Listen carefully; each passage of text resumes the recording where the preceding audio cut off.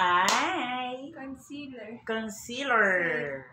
Cover ng eye Ayan, ang sexy ko talaga tingnan. Nagpa-sexy lang ako kasi baka dumating yung aking admirer. dito. Ang so kulit. Ayan. Hindi po ako makeup guru. Yan. Nakikita naman ninyo ang difference. Makeup niya.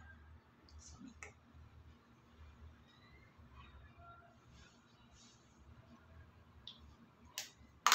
Tinatingin ka sa akin.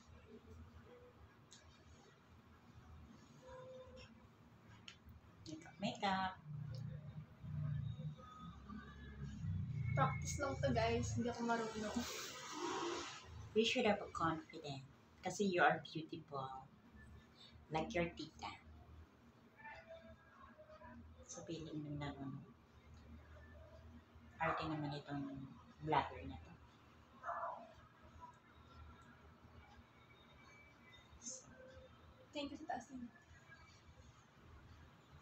Galingan mo, makikita ka ni Ate Maris.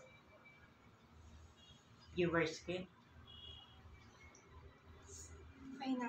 Ayan, nato sense ang aking looks. So beautiful. Alam mo, naalala ko si Ate Maris pag minimakeupan niya ako. Tuwan-tuwa sa akin yun ng panahon na healthy pa ako. Di ba, Ate Maris, no? Love you, Ate Maris. Ate Maris, I love you.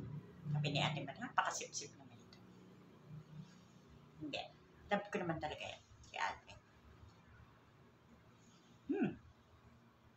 Ate Maris, maging excited ka. Kasi si Sheila Gayo, mag, magaling din mag-makeup yun. Hi, Sheila Gayo! Ayan, at kay Jill Freya, Beach Maniego, at, at kay ano, Next Princess. is, ikaw-contour natin kasi super Yeah. white ng face. Ate Maris, kailangan maging excited. And shout out din sa aking doktor, Doc Idalin, at kay Dr. Sevi.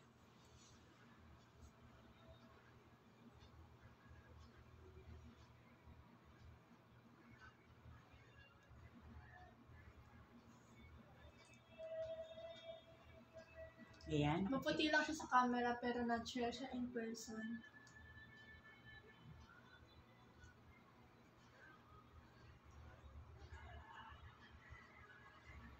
Galingan mo ba kasi nanonood si Ate Maris. Hmm.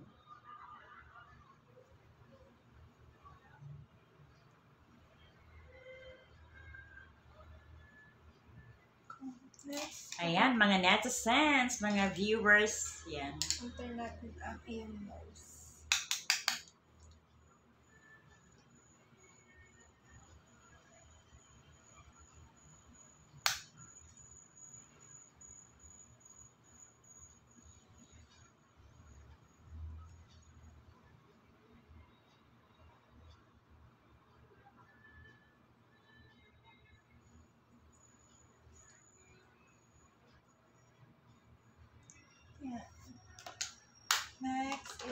blush on. Blush yan. Ako, alam na alam ni Ate Maris yan. Kasi mahilig mag-makeup yun. So, ate, thank you so much for my beautiful bag, beautiful clothes.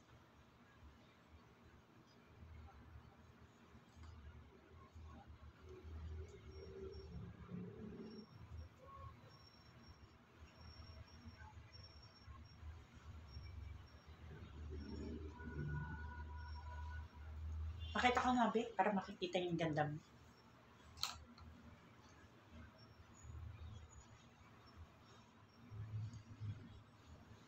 Shout out natin si Ate Mayan. Mary Ann. San Andres. At si Ninette Trondera. Kasi Piata. Kasi Janela.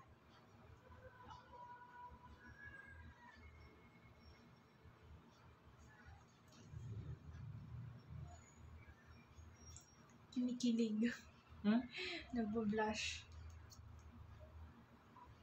Ayan, mga netizens, gumaganda na ako. Kanina, para akong nilagang talong. Diba?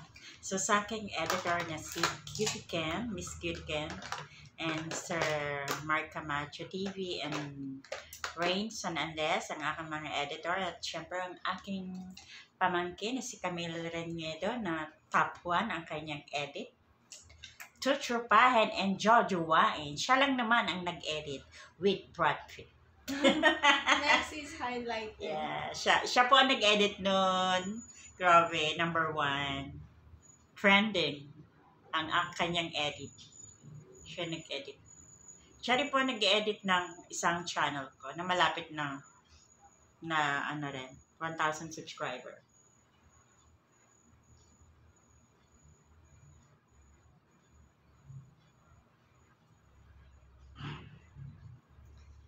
Ako lang ang tagagawa ng video, pero iba po yung nag-edit. Next is eyeshadow. Ito, pikit ka. Um, nakikita yung ano ko.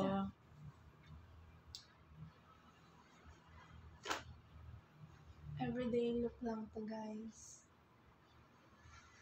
Supernatural.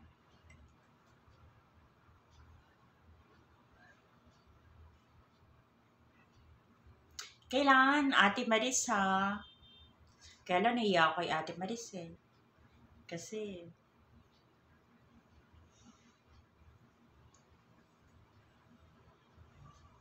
kailangan kapag magkaharap kami ni Ate Maris, may dala-dala akong Listerine. Kasi baka mamaya, di ba, kang nadialysis yung, naku, ano, hindi ka. Tatawa si Ate Maris yan.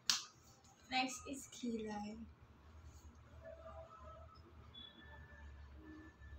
Mahiyaan niyo si Ate Maris. Oo guys, nahiya akong ngumiti kasi hindi ako sanay nawala yung ngipin ko. Ang papasexy ko talaga ako dito sa harap ng, ng vlog. So, you know, kaya po talaga yung title ng aking vlog. Next, ano na, na. Lady, yung channel ko. Ha? Lip tint, lipstick. Yung Fashionista Lady yan. Maate ako. Ano nga? Ayun na. Hmm. Yun ba yung everyday look? Hindi kasi ako nag-makeup talaga eh.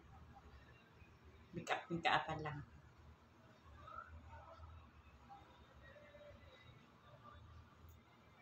Ah, ang ganda. Ganda na in person. Yan. So, ako po si fashionista lady na...